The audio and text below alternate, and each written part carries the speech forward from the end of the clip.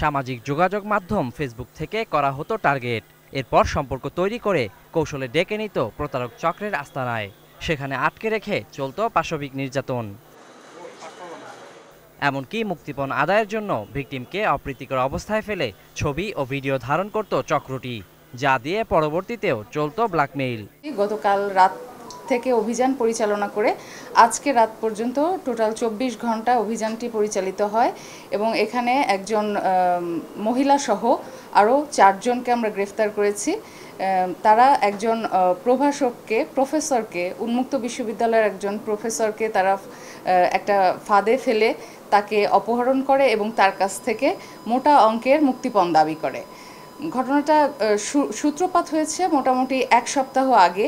ফেসবুকে ভদ্রলোক যেহেতু উন্মুক্ত বিশ্ববিদ্যালয়ের একজন প্রফেসর ছিলেন, তাকে ফেসবুকে একটা নক দেয়া হয় এবং বলা হয় যে সে উন্মুক্ত বিশ্ববিদ্যালয়ে ভর্তি হতে চায়, এজন্য তার সাহায্য দরকার। এভাবে করে মেয়েটি তাকে নক দেয়। তো উনি যেহেতু, ভদ্রলোক যেহেতু প্রফেসর ছিলেন, উনি স্বভাবতই তাকে হেল্প করতে চেয়েছেন এবং কোনোভাবে সাত দিন পরে তারা একটি জায়গায় তার সাথে দেখা হয় এবং দেখা করে এবং দেখা করে তার কাছ থেকে তাকে দেখা করতে বলে সেখানে তারা দেখা করে এবং ভদ্রলোককে তারা ওইখানে তাদের টিম আগে থেকেই, চক, চক্রটা আগে থেকেই ওয়েট করছিল। ওনাকে সামহাও কিছু, হয়তো নাকে ধরে ওনাকে অজ্ঞান করে ওখান থেকে অপহরণ করে নিয়ে এসে খিলগার একটা বাড়িতে তাকে আটকে রাখে এবং তাকে দিয়ে তাকে নানাভাবে টর্চার করা হয়। হাতুড়ি দিয়ে বিটানো হয় এবং রশি দিয়ে মারা হয়, রশি দিয়ে আটকানো হয়, নানাভাবে ভয়ভীতি প্রদর্শন করে তাকে দিয়ে তার পরিবারের কাছে মুক্তিপণ দাবি করানো হয় এবং কয়েকটি বিকাশ নাম্বার দেয়া হয়। নাম ভদ্রলোকের নাম্বারেও পরিবারের লোকজন পঁচিশ হাজার টাকা সেন্ড মানি করে এবং তাকে আরও বিভিন্ন বিকাশের যে এজেন্টরা আছে, এজেন্টদের নাম্বারগুলো দেয়া হয়, বারবার সেই নাম্বারগুলো চেঞ্জ করা হয় এবং এই ঘটনাটা যখন লোকটা মিসিং হয়, ভদ্রলোক মিসিং হওয়ার পর তার তার পরিবারের লোকজন প্রথমে কলাবাগান থানায় একটা জিডি করে। যে, এবং আমাদের কাছে এটিও এর কাছেও তারা অভিযোগ করে এবং আমাদের কাছে হেল্প চায়।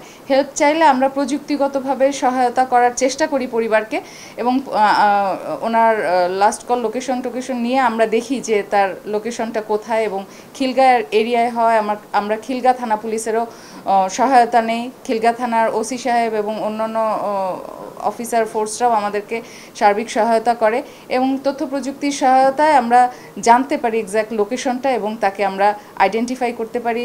যে বাড়িতে লোকটাকে নিয়ে আটকে রেখেছিল, মোটামুটি বিশ বাইশ হাজার টাকা ভাড়া দিয়ে তারা ওই বাড়িটা ভাড়া করেছে এবং ভাড়া করা বাড়িতে চার পাঁচজন মিলে তাকে এই চব্বিশ ঘণ্টা নির্মমভাবে প্রহার করেছে এবং তার তাকে দিয়ে ফোনগুলো করিয়েছে টাকা মুক্তিপণ দাবি করানোর জন্য। যাই হোক, বিকাশের মাধ্যমে তারা আটচল্লিশ হাজার টাকার মতো তার পরিবারের সদস্যদের কাছ থেকে নিয়েছিল, যেটা আসলে পরবর্তীতে উদ্ধার করা হয়েছে। এটাই আমরা সফলভাবে ভিকটিমকে উদ্ধার করতে পেরেছি এবং আসামিদের যে গ্যাংটা, তা, তাদেরকে আমরা অ্যারেস্ট করতে পেরেছি এবং অ্যারেস্ট করার পরে আমরা সিডিএমএসে সার্চ দিয়ে দেখেছি, এটাই তাদের প্রথম কাজ নয়। এর আগেও ওই মেয়েটি যে যে মেয়েটি আসলে এটার সাথে প্রথম অতপ্রতভাবে জড়িত ছিল এই মেয়েটি এর আগেও পাঁচ ছয়টা মানে তার নামে আরও পাঁচ ছয়টি মামলা রয়েছে ঢাকার বিভিন্ন থানায়। এই কাজগুলোর সাথে সে অনেক আগে থেকেই জড়িত। দীর্ঘদিন ধরেই এভাবে ফাঁদে ফেলে মুক্তিপণ আদায় করে আসছিল প্রতারক চক্রটি। মূল হোতা বিলকিসের নামে একাধিক মামলা রয়েছে বলেও জানান পুলিশের এই কর্মকর্তা। ওনাকে নক দেওয়া হয়েছিল ফোনে। এইভাবে যে ওনারা হয়তো আগে মানে চক্র হয়তো আগে থেকেই কাজ করেছে, পেছনে ব্যাকগ্রাউন্ড ওয়ার্ক আছে। যখন যেহেতু ওরা জানতে পারে যে উনি একজন উন্মুক্ত বিশ্ববিদ্যালয়ের প্রভাষক তারা তাকে নখ দিয়েছে ছাত্রী সেজে মানে করুণা নেয়ার জন্য যে আমি একজন স্টুডেন্ট বিভিন্ন কারণে, পারিবারিক কারণে আমার পড়ালেখা থেমে গেছে, এখন আমি আবার পড়ালেখা কন্টিনিউ করতে চাই স্টার্ট করতে চাই এই জন্য আমার আপনার সহযোগিতা দরকার হেল্প দরকার। আপনি যদি আমাকে একটু হেল্প করতেন, তাহলে আমি আবার পড়াশোনা শুরু করতে পারতাম। এভাবে সে তারা একটা কাহিনী বানিয়েছে। এরা তো আসলে একটা কাজ শুরু করার আগে অনেক ব্যাকগ্রাউন্ড ওয়ার্ক করে নেয়। এইভাবেই হয়তো তাকে টার্গেট করেছে। হ্যাঁ যে মামলাগুলো দেখলাম এটা সাইবার সাইবার ক্রাইমের সাথে সাইবার ক্রাইম নামটাই এসছে মেটার সাথে যে সে সাইবার ক্রাইম করে। দ্যাট মিন্স হয়তো আগের কেসগুলো যদি আমরা ডিটেলস স্টাডি করি তাহলে আমরা দেখতে পাবো যে সে হয়তো এভাবেই কাজ করতো। আরও আরও আরও কাজ করতে হবে। আসলে আমরা তো গতকাল রাত্রে অভিযোগটা পেয়েছি এবং আজকে আমরা চক্রটাকে মানে আইডেন্টিফাই করে ফেলেছি।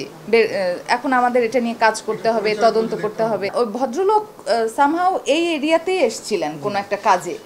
ওরা সম্ভবত ওই যে বললাম স্টাডি করে রেখেছে ওনাকে, ওনার মেয়ে কোথায় পড়ে, উনি কোথায় অফিস করে। তো উনি এই এরিয়াতে যখন আসছে, তখনই ওই ভদ্রলোককে নক দিয়েছে যে মানে আপনি কোথায়? আমি এই এরিয়ায় আসছি। ও, প্রথমে তো মেয়েটা জানায় যে সে ঢাকাতেই থাকে না। অন্য একটা ডিস্টেন্স কোন একটা জায়গার কথা বলে যে ওখানে থাকে। তো হঠাৎ করে ভদ্রলোককে বলছে, আমি ঢাকায় আসছি এবং আমার বর্তমান অবস্থান এখন খিলগাঁও। তো লোক বলছে তাই নাকি? আমিও তো এখন এখানেই আছি। তখন আরও কাহিনী সাজিয়েছে যে আমি তো অসুস্থ, আমার অনেক দিন থেকে বাচ্চা হয় না। আমি এখানে আসছি একটা ডক্টর দেখা, ঝাড়ফুঁকের জন্য একটা কবিরাজকে দেখাতে।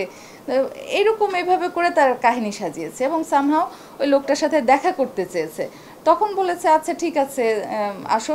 দেখা যখনই করেছে, তখনই মানে তার চক্রটা আগে থেকেই ওত পেতে ছিল হয়তো, তাকে তখন লোকটাকে কিছু হয়তো ইউজ করেছে হিপনোটাইজ করা বা ওই যে স্প্রেটা স্প্রে মেরে তাকে তারা কিডন্যাপ করে বাড়িটা, যেহেতু খিলগাতেই তার লোকেশন ছিল, খিলগা থেকে তাকে খিলগার ওই যে বাড়িটা, বাড়িটার লোকেশন হচ্ছে খিলগাঁও দক্ষিণ বনশ্রী কাজীবাড়ি। এখানে তারা একটা ভাড়া করা বাসাতে ওনাকে নিয়ে যে আটকে ফেলেছে। ওনাকে আটকে রেখে তারা মোবাইলে তাকে ন্যাকেট করে তার নোট ছবি, নোট ভিডিও ধারণ করেছে এবং তাকে ব্ল্যাকমেল করার জন্য যা যা করা দরকার আর কি, এসব করেছে। Waliul Sakib, ATN News, Dhaka.